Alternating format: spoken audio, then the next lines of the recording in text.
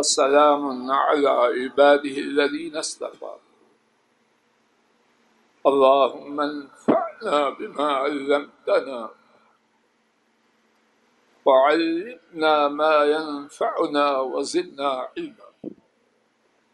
سبحانك لا علم لنا إلا ما علمتنا إنك أنت العليم الحكيم. رب اشرح لي صدري ويسر لي أمري واحلل عقدة من لساني يفقه قولي. تیس وقت کی پاب تیس منٹ کے وقت کی پابندی کرتے ہوئے ایک ایسے سمندر کے حوالے سے اپنی کمزوری اور کم علمی کا اعتراف کرتے ہوئے چند قطرے آپ کی خدمت میں پیش کرنے کی آجزانہ ٹوٹی پھوٹی کوشش کرتا ہوں۔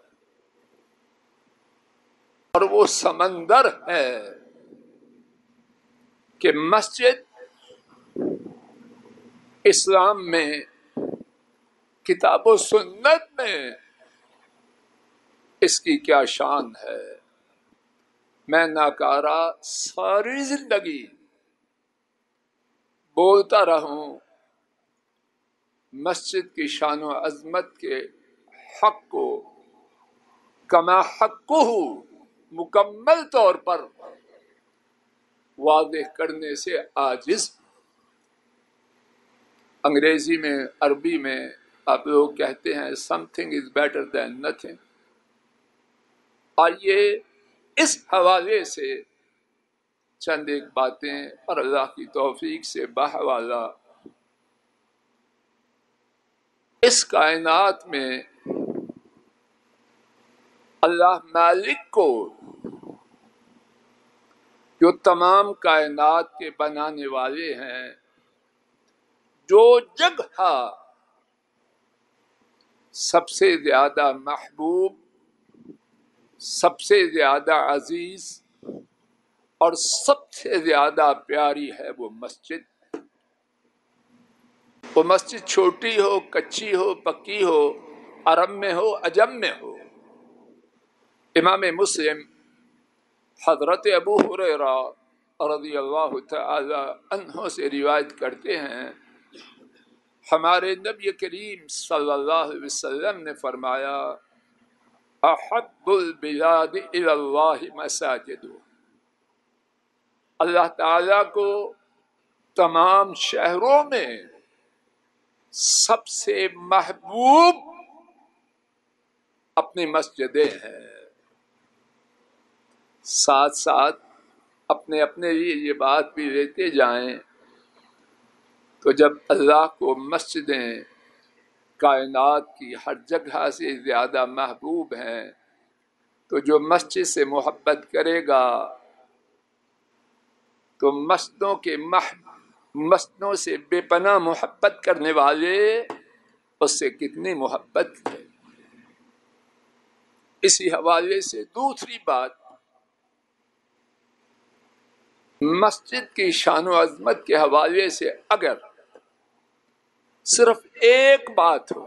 میرے ساتھ توجہ کیجیے، کچھ لے کے جائیں اور اللہ کرے ہم سب کچھ لے کے جائیں۔ مسجد کے حوالے سے صرف ایک بات اور پکی۔ اگر کھوپری میں عقل اور سینے میں ایمان ہو، تو مسجد کی شان و عظمت کو جاننے، پہچاننے کے لیے وہ بہت کافی۔ کیا ہے وہ بات کل روز قیامت پورے محشر کے میدان میں جہاں بابا آدم علیہ السلام سے آخری انسان تک ہوں گے اور کون کون ہوں گے؟ تفصیل۔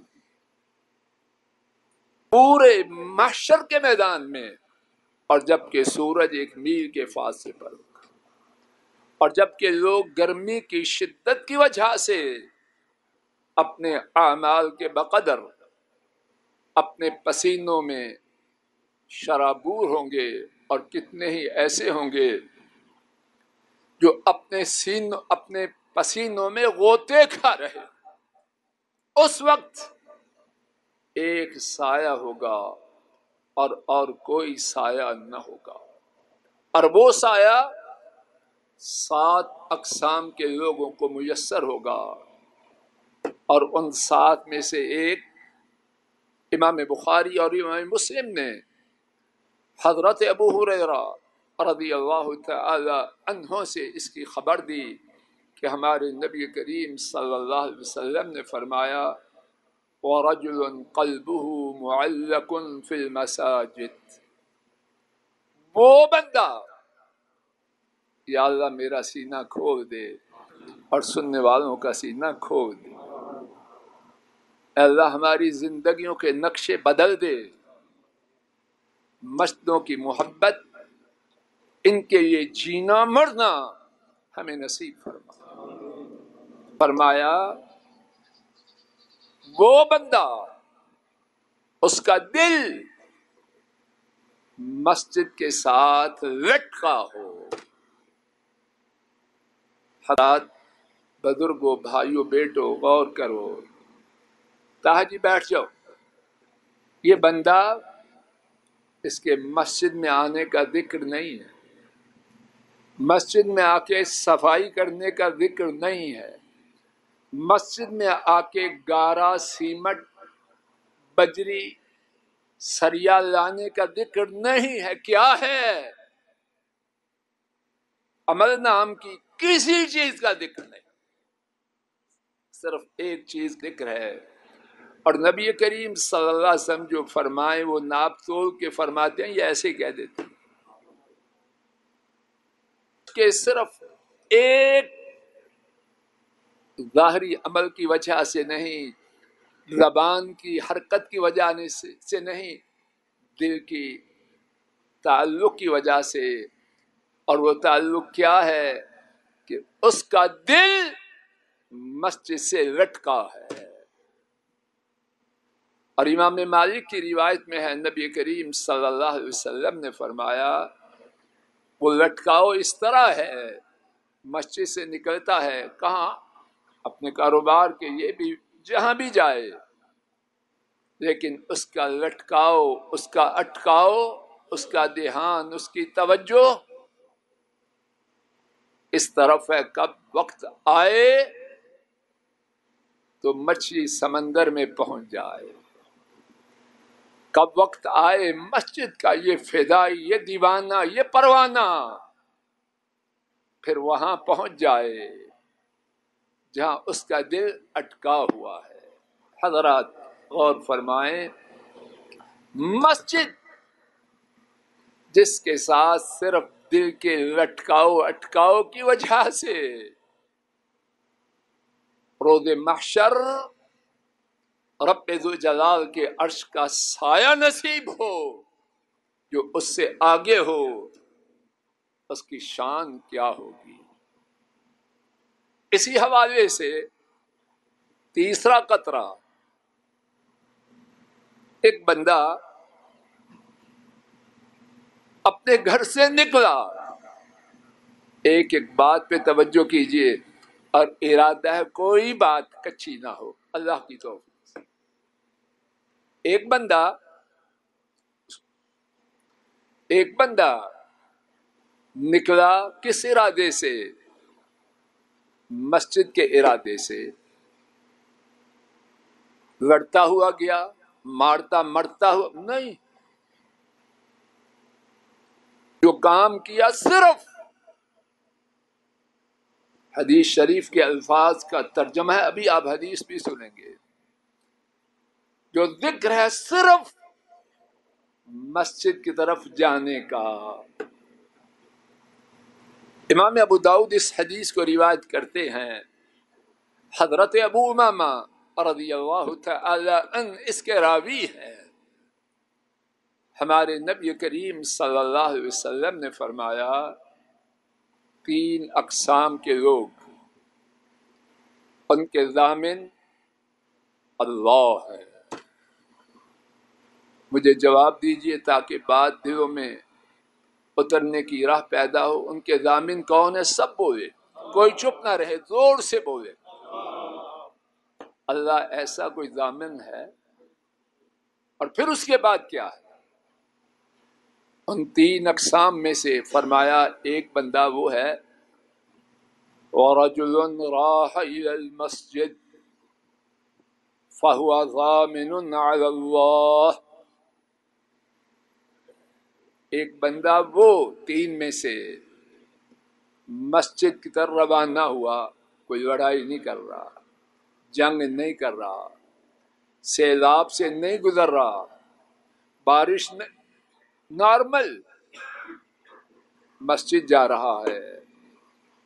فرما اس کی ضمانت، اس کی ذمہ داری اللہ جل جلال پر ہے۔ اب سوال یہ تھا اور وہ سوال شیطانی نہیں سمجھنے کے لیے، اللہ کی ذمہ داری سے بندے کو کیا ملے گا؟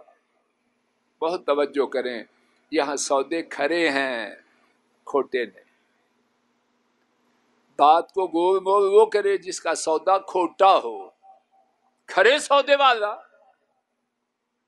اگر مگر چونکے چنانچے یہ جھوٹوں کا شیوا ہے، عرش والے رب کا، اور مدینے والے نبی کا یہ دستور نہیں صلی اللہ علیہ وسلم۔ فرمایا، حتی یتوفا ہوا فیدخلہ جن او یردہ بما نال من اجر و غنیمہ۔ فرمایا، رب ذو جلال کا، اس کا ذمہ دار ہونا۔ اس کے دو پہلو ہیں۔ ایک ایک لفظ پر غور کیجیے۔ مکمل ترجمہ کرنے کا دعویٰ نہیں لیکن کوشش یہ ہے حرف بحرف چلو۔ اس ذمہ داری کے دو پہلو ہیں۔ جانے والا فوت ہو گیا۔ جانے والا زندہ رہا۔ کوئی تیسرا اسپیکٹ تیسرا پہلو ہے۔ دونوں کا جواب عطا فرما دیا۔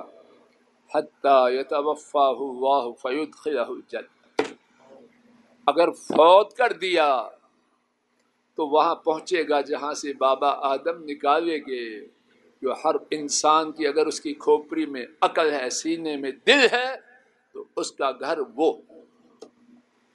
کہ مسجد کی طرف جانے والا فوت ہو گیا، جاتے جاتے پر میں عرش والے رب اسے جنت میں داخل کرے گی۔ او یردہ بما نال من اجر و غنیمہ زندہ رہا تو کیا ہوگا؟ فرمایا اجر اور غنیمت کے ساتھ واپس آئے۔ گا اسکول و کالجوں میں سنا کرتے تھے، ہاتھی مر گیا، زندہ رہا تو لاکھ کا مر گیا، سوا لاکھ، ہمیں تو پتا نہیں۔ وہ بات کچی بھی ہو سکتی ہے، ٹھیک بھی ہو لیکن محمد کریم کی بات جانے والا زندہ رہا، اجر و غنیمت پا کے آئے، فوت ہو گیا، جنت میں جائے۔ اور صحیح ابن حبان میں بات کو مزید آگے بڑھایا۔ سوال یہ ہے، میرے بھائی، میرے بزرگ، میرے بیٹے بات وہ ہے جو میرے اور آپ کے مقصد کی ہو۔ باقی کہانیاں وہ کسی دل چاہتا ہے محبوب صاحب۔ دل چاہتا ہے پتہ چل جائے۔ دنیا میں جو اجر و غنیمت ملنا ہے، مسجد طرف جانے کا وہ کیا ہے؟ سنیے، انہوں نے جواب دیا ہے، جنہوں نے اللہ کے ضامن ہونے کی خبر دی ہے۔ کیا جواب ہے؟ صحیح ابن حبان کی روایت میں ہے۔ انعاش رو دے کا کفیا و امات ادخل اللہ جنہ یہ مسجد کی طرف جانے والا اگر زندہ رہا، تو اجر و غنیمت اس کا بیان ہو رہا ہے۔ خوب توجہ کر لیجیے اور یہ فیصلہ خود کرنا، یہ سودا لینا ہے یا چھوڑنا۔ فرمایا، اگر یہ زندہ رہا تو کیا ہوگا؟ رودک اس کو رزق دیا جائے۔ لوگ پوچھتے ہیں، شاہ صاحب جی ڈاکٹر صاحب کو رزق کا وظیفہ بتلاؤ؟ محمد کریم صلی اللہ علیہ وسلم نے خود بتلایا۔ مسجد کی طرف میں آپ جائیں۔ کون ذمہ دار ہے رزق دینے کا؟ سب بولو۔ اور وہ ذمہ داری پوری کر سکتے ہیں کہ نہیں؟ سب جواب دو۔ اور ذمہ داری پوری کرنے کے لیے ان کے پاس خزانے ہیں کہ نہیں؟ کرنا ساتھ۔ فرمایا، اگر زندہ رہا، رزق دیا جائے گا اور کیا ہوگا؟ ٹینشن بی بی، اس کی بھی چھٹی ہو جائے ٹینشن نے مارا کہ نہیں مارا؟ اب بچے بھی کہتے ہیں، ٹینشن ہے، بڑی ٹینشن بابا بات نہ کرو ٹینشن۔ اس کا علاج بھی اس میں ہے۔ واقوفیا ہر غم سے، ہر مصیبت سے، ہر دشمن سے، ہر آفت سے اس کی کفایت کی جائے گی۔ کون کفایت کرے گا؟ علیہ صلاح بکافن ابدہ کیا اللہ تعالی اپنے بندے کے لیے کافی نہیں؟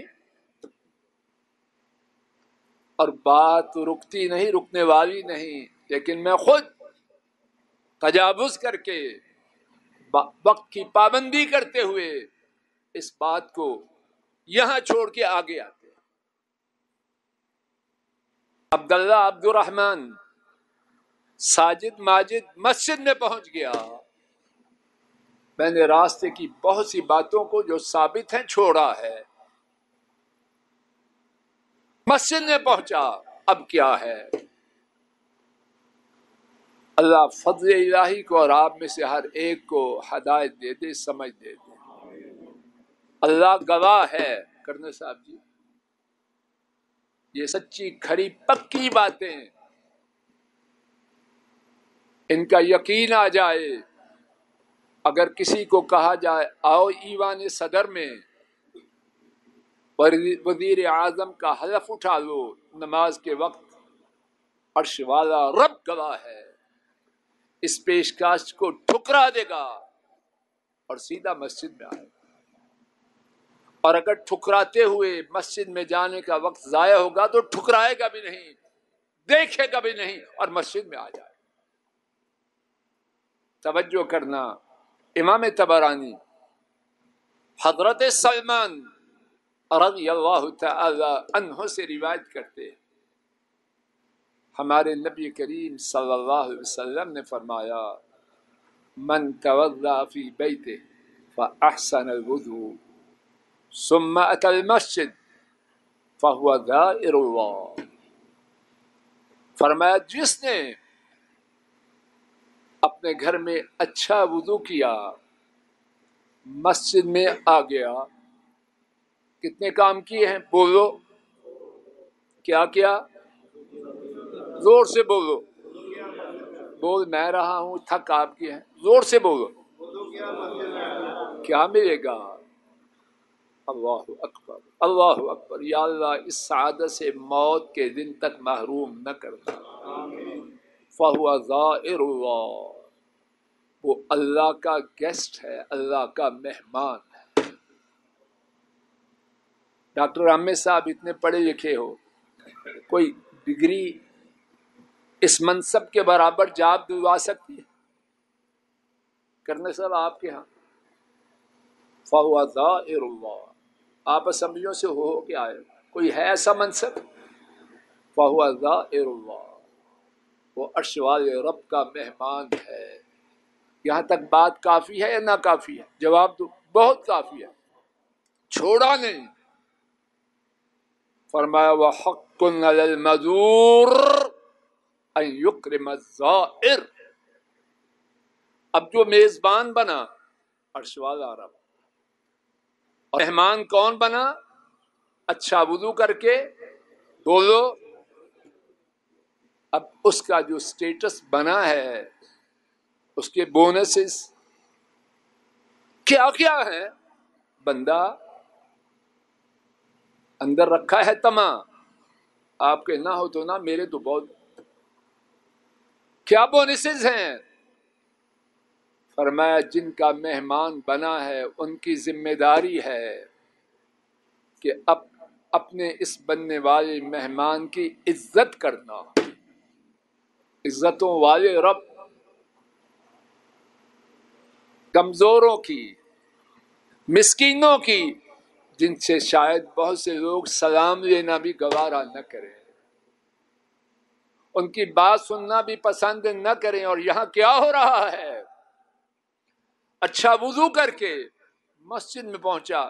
تسبیح نماز کا ذکر نہیں تراوی کا ذکر نہیں۔ کسی ریاضت لمبی عبادت، تسبیحات کا ذکر نہیں ہے۔ صرف دو کام۔ کیا کیا؟ اچھا وضو اور مسجد کی طرف آنا۔ ارشوال رب کا مہمان بنا۔ اور صرف مہمان بننے کی خبر پر بات کو نہ چھوڑا، ساتھ یہ بھی بتلایا کہ ارشوال رب نے ذمہ داری بھی کہ اپنے اس مہمان کی بولو۔ اسی حوالے سے اب مسجد میں پہنچا، دو رقط سنتے جو پڑھا سو پڑھا۔ نماز کے انتظار میں بیٹھا۔ اللہ یا اللہ نصیب کر نصیب کر۔ اور کب تک؟ اس دن جب آپ کی ملاقات کے لیے روانگی ہے۔ امام مسلم روایت کرتے ہیں، حضرت ابو حریرہ رضی اللہ تعالی ان بیان کرتے ہیں۔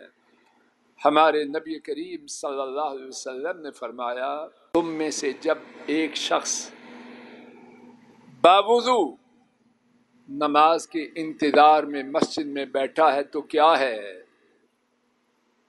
حضرات، میں آپ توجہ کریں۔ یہ سعودی رب کائنات